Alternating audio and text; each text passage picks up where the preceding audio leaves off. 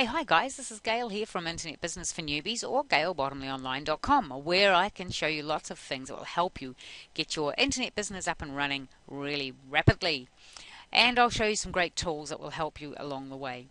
Today on this uh, video I just want to talk to you about RSS feeds and how to get one and uh, basically well maybe not so much on how to get one today. I'll show that in another video.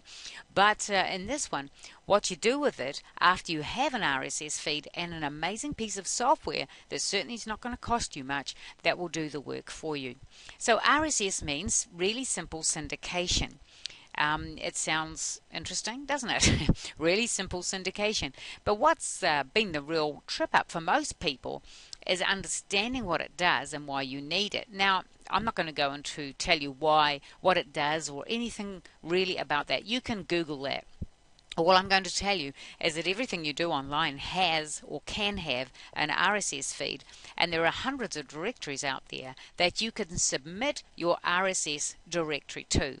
And so, um, if you want to know any more about it, go and find out. But I suggest you do it I suggest you use RSS. It will help with your rankings. It will it will help you get on page one of Google. It will help people find you, and people like to read.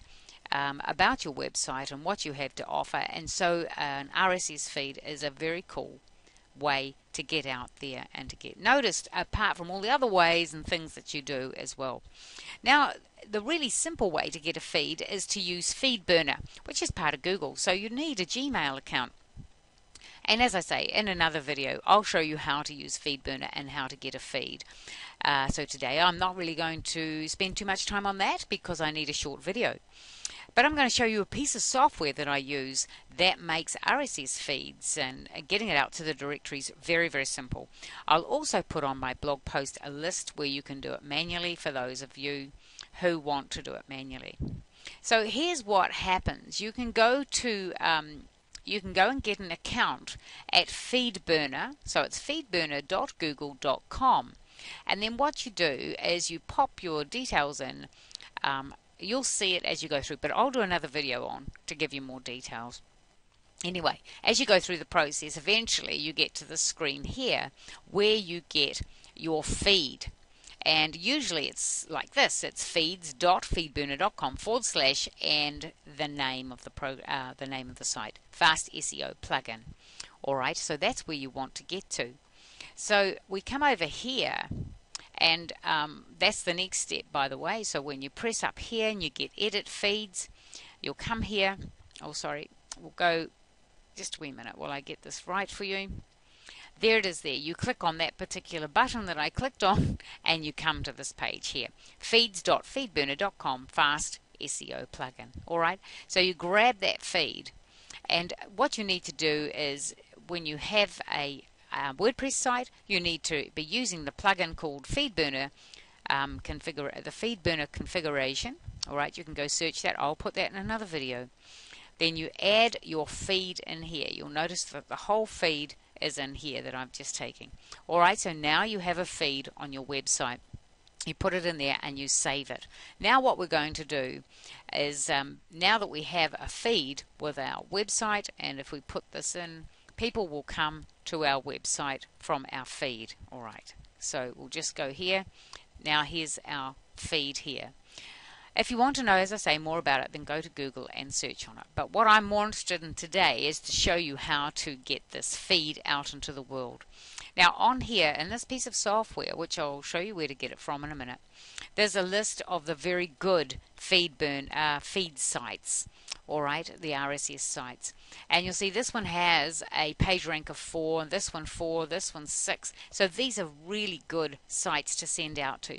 Some of these sites have captcha codes and um, some of them only about three I think on here you actually have to log in. So this is what you do when you first get the software. You download it you install it. It's software not a plugin. There's a great manual with it. Not that you'll need it because it's pretty darn simple. But here we go. We come to the login required. We click on that and over here you'll see there's a sign up. Click on that and you'll be taken to the sign up page. So sign up get your username and password and save it Okay, now it's all in the manual, so it's pretty simple to do. Then once you've got all that uh, sorted, you're about ready to go really. So here we go now. So we've got account profiles. You need to set up your account. You need to set up your company. So each, um, and then we've got the feeds. Now here I've already got some feeds done here. And uh, when you want to add a new feed, you go add new. Simple as that, really. You can also do the pinging from here and you can create a feed from here, although I find it much quicker and easier to do it from within FeedBurner. So now, once I have my new feed, all I've got to do is come in here and go add new, and then you pop the URL in here. There it is all there. You give it a name, which I've done here, Fast SEO Plugin. I've also put in all the keywords because I've already set it up and the description. So put about four or five long tail keywords in here, give it a description, go save, and then once it's saved, it sits in here like so. And then when you click on it, you'll see here, there's the description and there's the keyword.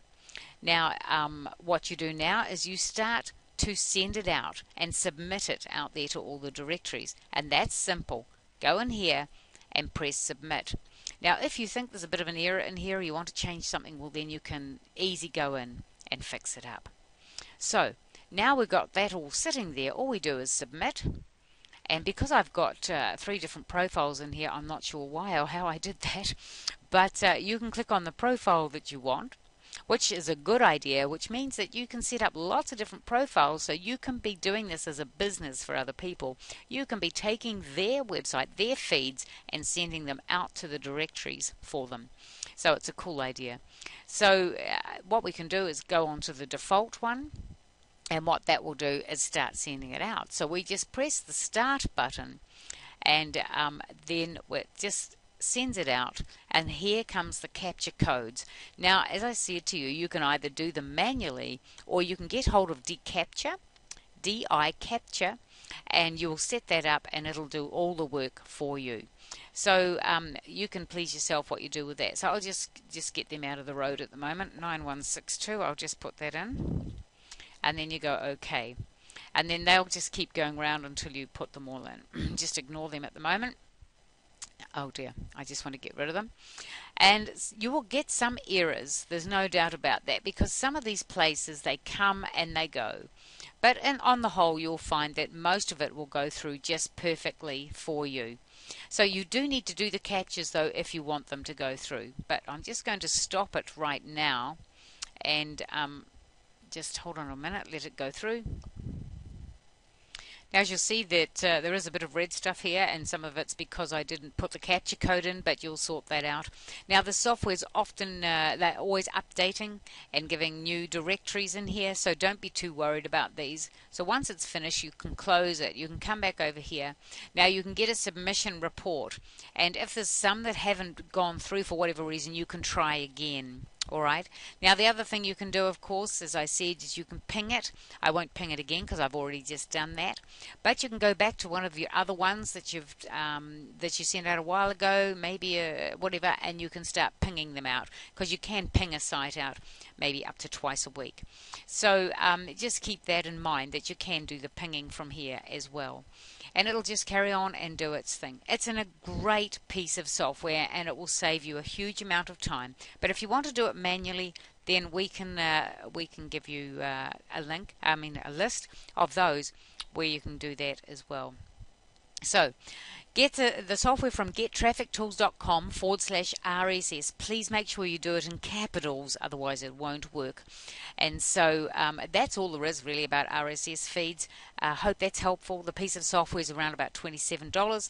Um, it won't break the bank and it will certainly help you a lot to get your RSS feeds out there. So trust that's helpful to you. All the best and we'll catch you on the next video.